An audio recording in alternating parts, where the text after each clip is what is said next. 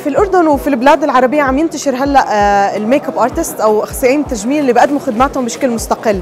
هدول بيحتاجوا لمظلة تنظم عملهم وتحميهم وتسهل وصول الناس لهم ومقابل تسهيل هذا الوصول تقديمنا للمعدات والتوصيل والحماية إحنا بناخذ جزء من الأرباح اللي عم تدخل لهم.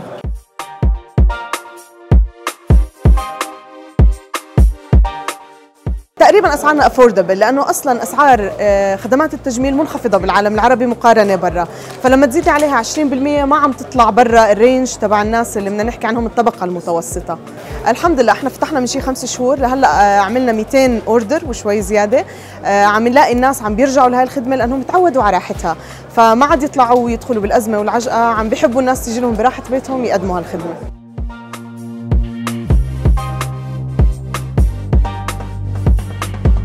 أكبر تحدي عندنا هو نلاقي ناس مدربين.